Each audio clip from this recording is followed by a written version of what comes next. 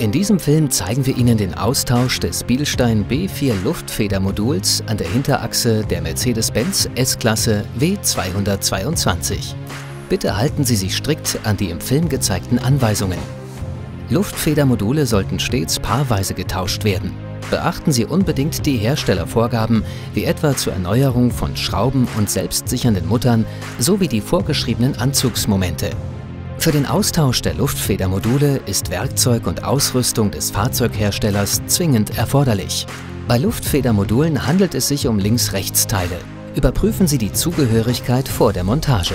Nehmen Sie das Luftfedermodul aus der Verpackung und kontrollieren Sie es vor der Montage. Beachten Sie die mitgelieferte Montageanleitung und überprüfen Sie das Mindesthaltbarkeitsdatum. Messen Sie die Länge des Bielstein Luftfedermoduls und vergleichen Sie diese mit der angegebenen Mindestlänge in der Montageanleitung.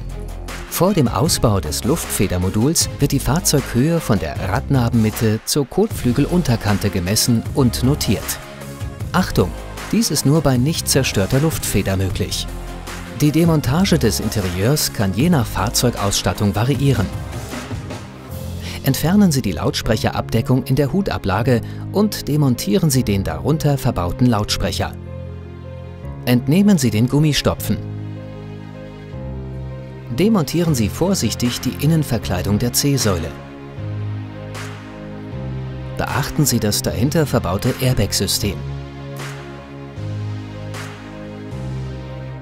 Schneiden Sie die Serviceklappe seitlich an der Markierung ein. Schneiden Sie anschließend die unter dem Gummistopfen liegenden Abdämpfungen mit einem geeigneten Werkzeug an der Markierung heraus und entfernen Sie die Teilstücke. Achten Sie darauf, die elektronischen Leitungen und die Druckleitung des Luftfedermoduls nicht zu beschädigen. Klappen Sie die Serviceklappe nach oben und schneiden Sie die darunter liegende Abdämpfung vorsichtig mit einem geeigneten Werkzeug entlang der Markierung ein. Klappen Sie anschließend die eingeschnittene Abdämpfung nach hinten. Heben Sie das Fahrzeug an den vom Hersteller vorgeschriebenen Aufnahmepunkten an. Kontrollieren Sie das gesamte Fahrwerk eingehend auf Schäden. Achten Sie hierbei besonders auf die Fahrwerklagerungen.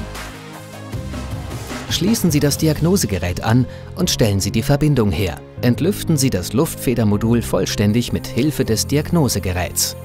Schalten Sie die Zündung aus. Ziehen Sie bei Arbeiten am Luftfedermodul stets den Zündschlüssel ab. Tragen Sie bei Arbeiten am Druckluftsystem unbedingt die notwendige Schutzausrüstung. Reinigen Sie den Druckleitungsanschluss oben am Luftfedermodul.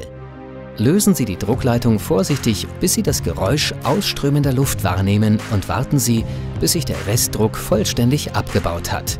Demontieren Sie anschließend den Druckleitungsanschluss vollständig und verschließen Sie diesen. Achten Sie darauf, die Druckleitung nicht zu knicken, zu verdrehen oder zu quetschen. Demontieren Sie die Räder.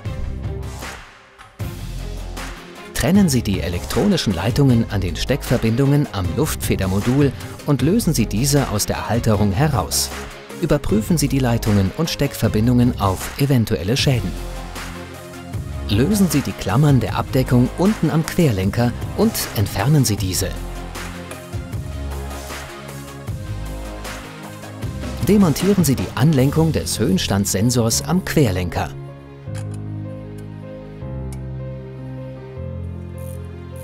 Demontieren Sie die obere und untere Verschraubung der Koppelstange und entnehmen Sie diese.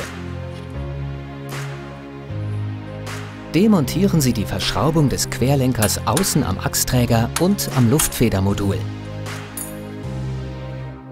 Lösen Sie anschließend die Verschraubung innen so weit, dass Sie den Querlenker nach unten ausschwenken können.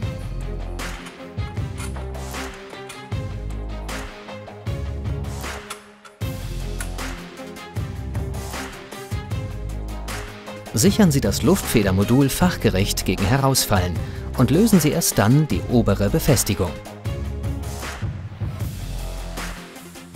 Das Luftfedermodul kann nun entnommen werden.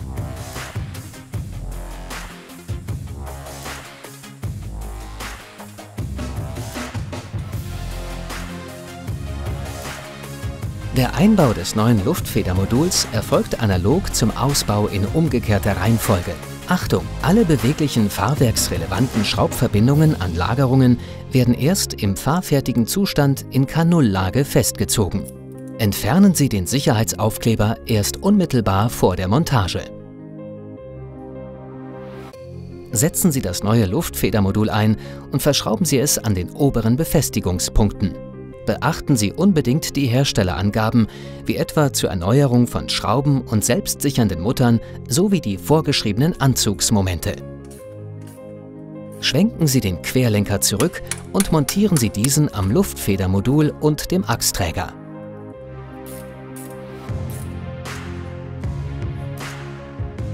Montieren Sie die Koppelstange.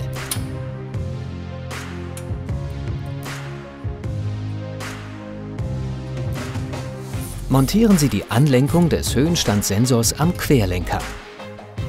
Verbinden Sie die Steckverbindungen der elektronischen Leitungen am Luftfedermodul und fixieren Sie die Zuleitungen am zugehörigen Halter. Montieren Sie die Räder fachgerecht. Lösen Sie die Verschlussschraube am Druckleitungsanschluss des Luftfedermoduls und entfernen Sie diese vorsichtig. Entnehmen Sie den mittig eingesteckten Halter des Schneidrings. Erneuern Sie die Verschlussschraube und den Schneidring auf der Druckleitung des Fahrzeugs.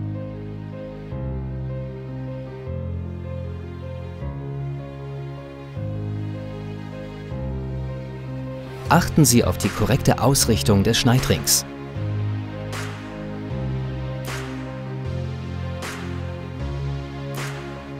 Montieren Sie die Druckleitung am Luftfedermodul. Beachten Sie bei der Montage unbedingt das vom Hersteller vorgegebene Drehmoment. Achtung! Lassen Sie das Fahrzeug niemals mit druckloser Luftfederung vollständig von der Hebeeinrichtung ab. Schließen Sie das Diagnosegerät an und stellen Sie die Verbindung her. Befüllen Sie das Luftfedermodul mit dem Diagnosegerät nach den Herstellervorgaben. Überprüfen Sie den Druckleitungsanschluss auf Dichtheit. Die Dichtheit des gesamten Systems muss unbedingt gewährleistet sein. Lassen Sie das Fahrzeug bis zum ersten Bodenkontakt der Räder mit der Hebeeinrichtung ab und starten Sie den Motor.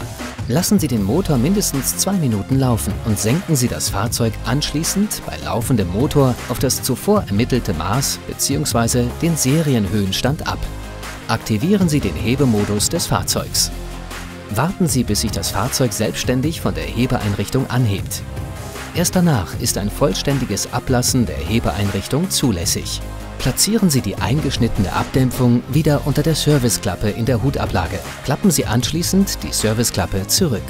Platzieren Sie die entnommenen Teilstücke der Abdämpfung unter der Lautsprecherabdeckung und bringen Sie die Gummistopfen wieder an. Montieren Sie die Verkleidung der C-Säule.